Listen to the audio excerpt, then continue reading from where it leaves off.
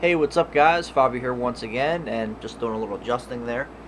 want to welcome you back to the final two reviews of Martial Arts Movie Month. I'm going to be doing the last two Three Ninjas films. The first one I'm going to do today is Three Ninjas Knuckle Up, which I've always enjoyed. And today is the last day of May. I was going to do these videos uh, yesterday, but I just didn't have time. And plus I wasn't feeling well either. I had a headache and just wasn't feeling up to doing a video. So probably by the time that these are done uploading, it'll probably already be June 1st, but that's okay. Um, it'll probably be like, these will get uploaded probably like by midnight or, you know, in the early, you know, hours or something. So it'll be okay. It's not a big deal. But I've always liked Three Ninjas Knuckle Up. I know this is where people start to dislike the series for some reason. Um, this movie does have a little bit of a interesting behind the scenes story. Um, this one's rated PG-13 for some reason, but you know, I've always liked this one. I grew up. It used to come on Showtime a lot. I used to watch it on Showtime. This one and the next one, Three Ninjas High Noon and Mega Mountain, used to watch those a lot. But I also remember renting this one from the video store as well a lot. But, you know, this one's just a lot of fun as well. It's a good follow-up, in my opinion, to the first two movies. But technically, this is the second movie, which I'll get into. But, yeah, I've always liked the, the first three the most. But this one, um, basically, what happened was, this was actually the second one that was, it was supposed to be the second one. I know this is going to get confusing. But some legal issue happened where they had to stop making the movie for a short time. Then the legal issue was resolved. They finished the movie, but it sat on the shelf for like two or three years, and then it got released. So I don't know exactly what happened. Um, I heard two things. I heard originally this was this was Disney. Now, like I said, with the first movie, that was done by Touchstone Pictures, who is owned by Disney. And they actually started work on this one right after the first one had come out. I guess since the first movie had been a big hit, that they wanted to follow up. And I guess what happened was Disney just just didn't think that things were going well. They didn't. They just weren't feeling this martial arts thing for them, and they, you know, they stopped production on the film. And then I guess that because uh, this one, this one and the other sequels are released by TriStar, um, who's Columbia Pictures. But I guess that TriStar picked up the rights, and they finished the movie. Like they probably just bought the rights from Disney, finished the movie, but then there was probably something where they couldn't release it. You know, some legal clearance thing, which has happened before in movies, because in this one you know, you have the original kids, and then you could tell which footage was shot later because in that in those scenes, Rocky has braces, and you can see him, and Colt is taller than Rocky, so there you go. Um, and most of the stuff that was shot at the at the you know later was the stuff at the end of the movie, the final showdown and and all that. And the scene where they wake up and their grandfather's training them, but it's when they stay up late because like Rocky goes, "Hey, Grandpa," and you could like he smiles and you could see his braces. So that stuff was shot later. So that could be a very possible reason that Disney was just they started the movie, but they had doubts. So they're like, you know what? We're just we're just killing this project. We don't care. In comes TriStar. Hey, we're really interested in the project can we buy the rights? Sure, you know, just you can't release it until this happened. Okay. So there you go. But also I heard that the kid that played Rocky in this one and the first one, he hated acting. He absolutely did not want to do it. He just did not care. And I, I on the back of the laser disc for Three Ninjas Kick Back, which I don't have. I've seen the like a picture of it. There's like a little interview blurb with the kid that played Colt and he was saying like you know the kid that played Rocky, he just didn't want to do it. He just didn't care about acting, you know, and that's why he's not in this movie. So I guess that maybe something happened where they were filming this and he like told his parents, you know, I quit. I don't want to do this anymore. I don't care.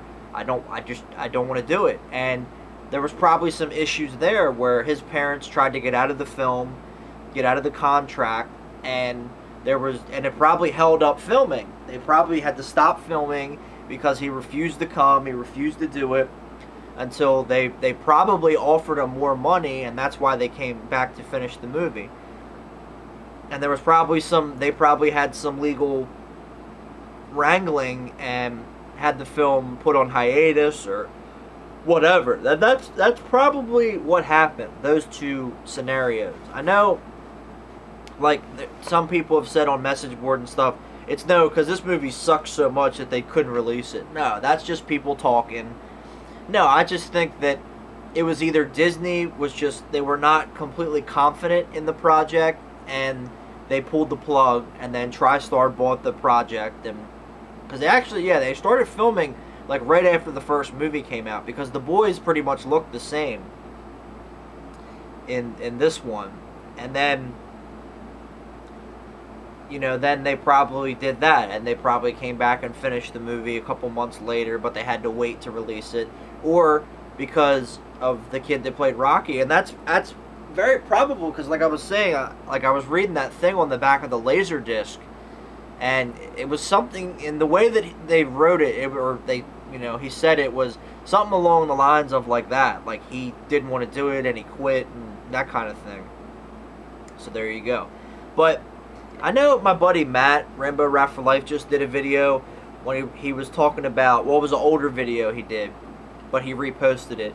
It was about terrible like DVD and VHS covers, and this movie should definitely be on it. Because these kids on this cover are not the fucking three ninjas. I don't know who they are. And neither is that kid. That kid, they're not the three ninjas. None of them are. So, I don't know what the fucking deal is. And that's probably because you know, when the movie came out, this is the poster they used. They probably couldn't get the kids to come back, so it was probably you know legal issues involved there. So there you go. But anyway, you know, this one, the second movie, the third movie, whatever you want to call it, whatever, you know, excuse me, whatever place you put it in your in your you know collection. This one, it's the next summer you know, the boys are spending time with Grandpa again, and there's this Native American reservation which this evil guy, this evil land developer, who's played by Charles Napier, who's no longer with us, is trying to take over because he wants to build real estate and, and all that kind of stuff. And um, another thing that's going on is he's actually dumping toxic waste and stuff into this reservation. And, you know, they're trying to um, oh yeah, I'm sorry. Yeah, I, I'm got got confused about something. Yeah, he's not trying to build. See, see, that's what happens. They change the movie. no, I screwed it. I screwed up. I'm sorry. What he's dumping these illegal, you know, toxic wastes because he's, you know, he has owns a waste management company, and he's dumping it on this Indian reservation, and it's killing the wildlife and some of the people and stuff like that. So basically what these Native Americans are trying to do is they're trying to expose him and get him in trouble. And the one guy the one girl uh, Jo because this one they put a girl in too her dad um, gets captured by these guys because he has this computer disk which will incriminate them so basically what happens is the three ninjas they save this girl at, a, at this pizza parlor because the guys that work for the bad guy are messing with her so they get into a fight and they save her. And she explains what's going on and they decide to help her and her people. So basically, they go on this mission to save this guy and they do. Her dad, who is actually played by Don Shanks, who played Michael Myers in Halloween 5, which is cool. And they save him, and the rest of the movie, they're basically waiting to go to this to this because they have a court hearing set. So they get mixed up in some more things like they go to this uh, you know this gathering and the bad guys show up and they start fighting them, and then they uh, on the day of the hearing they kidnap the guy's daughter, so they go to save her. You know, and then at the end of the movie, the bad guys are exposed and they get put away, and the you know the three ninjas are heroes. So yeah, that's the plot in a nutshell. And like I said, this is the this one and the next one are the ones that people don't like, but I've always liked this movie. And you know, th- in the first two movies, they dress up as ninjas, they fight ninjas, and this one they don't. You know, they don't dress up as ninjas. You know, um, in a couple scenes they wear their colors, like when they wake up and their grandfather's like testing them. That's about it. And then they don't fight ninjas; they fight like regular bad guys. But that's okay. You know that that didn't bother me. I mean, the movie's still martial arts, you know, so it really didn't bug me that much. Well, it, really, it didn't bug me at all. You know, I'm not not complaining. So I'm yeah, like I said, I've always liked this one, but I don't know why it gets so much flack. I mean, this one, and I, understand why High Noon and Mega Mountain gets flack, which I'll get more into that, but I don't understand why this one does. But you know, I've always liked this one. I like the story, how they're helping this Native American tribe, you know, and it's it's a real story. I mean, you know, because there are you know these groups out there that you know they illegally illegally dump toxic waste and they get away with it because they pay people off and you know people think money is more important than honor and, and everything. But I'm not getting into a political debate, political or philosophical debate now. But I've always, you know, I like the story. It's got good fights in it. Um, you know, it's the original boys. It's the original cast that comes back. You know, Victor Wong is in it. Uh, Charles Napier's in it. Uh, Patrick Kilpatrick plays one of the bad guys. Uh, Vincent Schiavelli, who's no longer with us, is in it. You know, he's been in a bunch of movies. So you have a good cast in the movie, some recognizable people. Donald Logue is in the movie.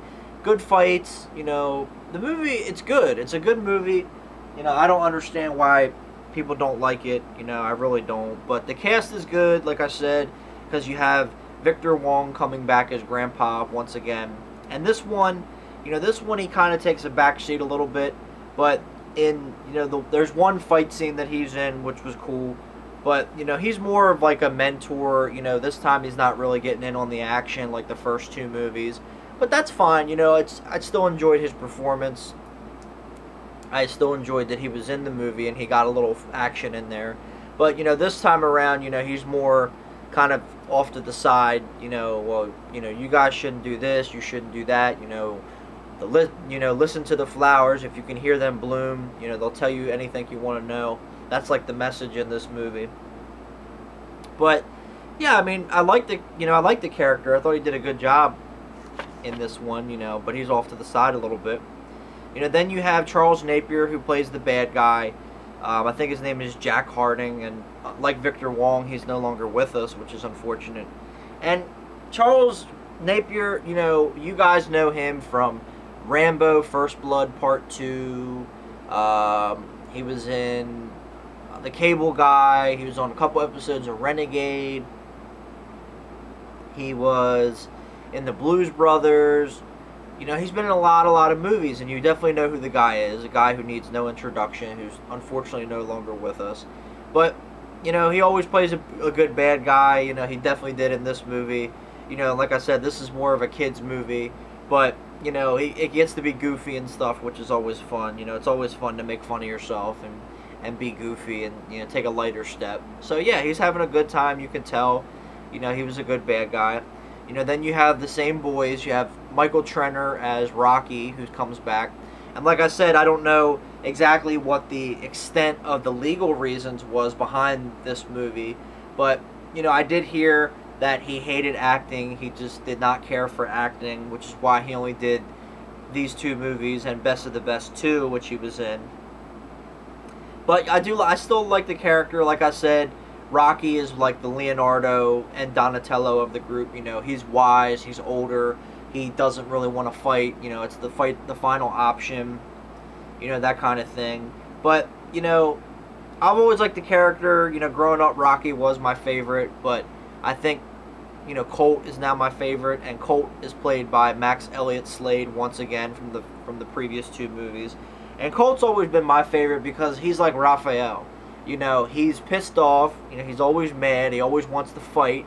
You know, he thinks fighting is his first option. You know, the only option.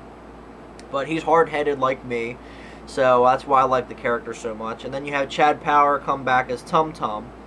Now, like I was saying, in Three Ninjas Kick Back, you know, he looks the same age, but he's not really, you know, he's supposed to be stocky. You know, in this one, it's the same actor, and he's, you know, he's not fat, but he, you know, he's a little stocky. He's got a little stock on him, but you know, and then in the next movie, he completely changes again. But yeah, I mean, uh, you know, they, the boys, you know, like I said, they shot this right after the first movie, so they're probably the same age or a little bit older. They probably hit a birthday in between, you know, but you know, they had chemistry. You know, even in this one, you know, they definitely had chemistry. You could tell that they were actually brothers. They actually cared about each other. They were having fun. They were having a good time, and you can absolutely see that. And then the girl that plays Jo, um, I liked her. You know, she was good for what she did. You know, she gets involved in this adventure with the guys, and you know, she's good. Good support. You know, you have Don Shanks in the movie for a little bit as her dad, the guy who played Michael Myers from Halloween Five, and he was good. I enjoyed him. I didn't know, like growing up, like I said, I used to watch this a lot. I didn't know that was Don Shanks, and then I got on the internet and looked it up, and I found out he was in the movie, but I didn't know who he played. And then I watched the movie and I saw that it was him. I'm like, oh my god, it's Michael Myers. That's pretty awesome. So yeah, that's really cool. And then Vincent Schiavelli is another actor who's been in a lot of movies. You have definitely seen him. He was in Tomorrow Never Dies. He was in Desert Heat with Van Damme. Um, he's been in a lot of films, and unfortunately, he's gone too. He's no longer with us, but he's like I think he's the mayor or something, and he's kind of in cahoots with the bad guys, so he doesn't care what they do, you know, as long as they're making him money and stuff like that. So there you go. But good cast in this movie, good supporting cast, and good lead cast as well. Um, you know, good fight scenes, which I'll get into. But the movie, when it came out, I guess because the the release was prolonged, and I guess they didn't promote it, it didn't make really any money. It only made like four hundred thousand dollars or something. It really didn't make any money. And I guess that's like I said. I guess that because they just kind of released it without promotion and and everything. But you know, I guess another reason why people don't like it is because of the environmental plot.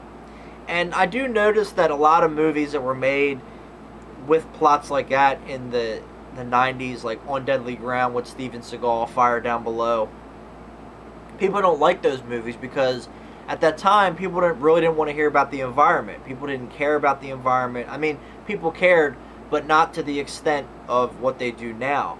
You know, when Al Gore did that movie, I forget what it was called, but you know, he won a Nobel Peace Prize, he won Oscars and all this shit. All of a sudden, people care about the environment, but it's not fair. You know, why do? How come Al Gore gets a pass, but you know this movie on Deadly Ground with Steven Seagal, which is a good movie. Fire Down Below, which is a good movie. Those movies get, you know, they get shit on, and I don't get it. You know, oh, we don't care about the environment. Oh, but Al Gore did this great documentary. Oh, now we care about the environment. Now we see what it's doing. You only watched it because Al Gore's in it. But it's bullshit. But it's a good movie. I don't understand why people don't like it. But, um, you know, there's this fight in the pizza parlor where they meet this girl and I like that because they're using like the pizza trays and um, the, uh, they're using a, a pool ball and stuff. And this one guy pulls a knife, and they disarm him, and you know they're like bumping into arcade games and stuff like that. And all these kids are like, "Who are you guys? You know, where'd you learn martial arts like that?" And I thought that was really cool because, you know, then the grandfather comes in and like chews him out, and that's right, you know, because martial arts, it's not to be cool. It's not to be popular. It's not to get girls. It's for self-defense. You know, so they're like showing off and stuff like that. You know, so rightfully so, he's going to be mad. You know, and then they like mess up the pizza shop. So um, the grandfather gets him a job there, so they have to clean up. And there's like a montage, and it's pretty funny. You know, then they meet this. You know, they meet Jo, and they find out what's going on, and they go to this to the waste plant and they find her dad there, and they they uh, when they escape, like, because they like fight these guys and stuff, which is cool, like the workers in there. you know, they get on the back of this ice cream truck, which is a pretty funny scene. And they're like, "Yeah, we found him. You know, he's in there. We know they we'll have to go get him."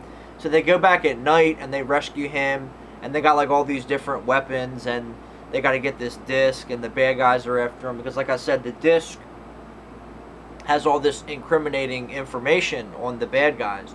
So like they're running through like all these towers of like of paper and stuff and they're like climbing up on the paper and fighting on there. They get on this conveyor belt and they turn it on and it like shakes and they get off and they're like which is pretty funny.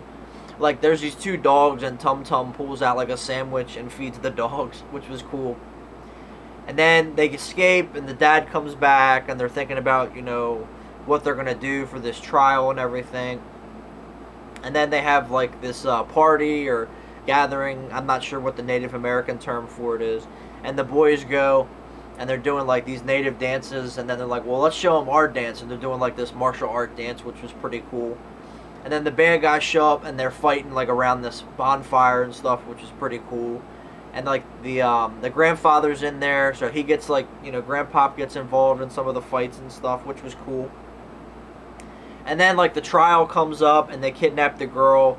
Like the bad guys hire these uh, this biker gang to kidnap her, so the boys go after them, and they're, I think uh, I think it's Rocky, like they're driving, like Rocky's driving, and Tum Tum's like, you know, I promise I'll never, you know, I'll eat all my green beans. I promise I'll be good. Just I don't want to die, which is funny. And they go to like it's kind of like an old west movie, and yeah, this one I guess could be, you know, a tribute to westerns.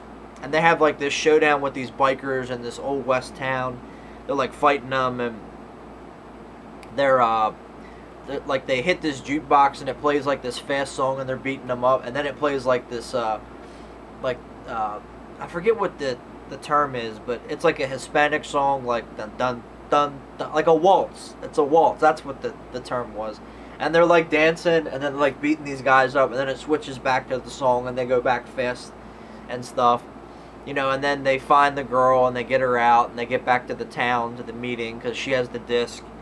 Because they tell uh, Don Shank's character, like, you know, you better do what's right, you know, you better not give him the disc and stuff. So then they come in and he's like, wait a minute, here's the real disc. And they incriminate the bad guys and they get away.